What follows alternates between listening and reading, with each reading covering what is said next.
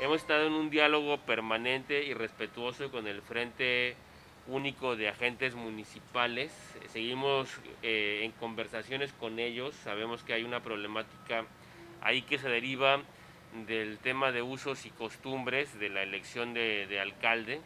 Eh, tenemos con, confianza en que lograremos avanzar porque ellos este, pues manifiestan algunas desconfianzas con respecto al trabajo de todas las instituciones, el, Instituto Nacional Electoral nada más es una de ellas, eh, y por supuesto tenemos el reto de eh, San Dionisio del Mar, que siempre tiene sus peculiaridades.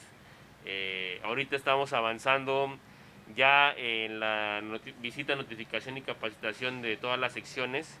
Y hasta este momento no hay, digamos, este, algún lugar que esté detenido, salvo San Mateo, ¿no? San Mateo por el tema muy específico de los usos y costumbres, la autodeterminación, eh, el problema ahí de este, los decesos que hubo en junio del año pasado, eh, entonces estamos siendo más precavidos con ellos y caminando eh, más de la mano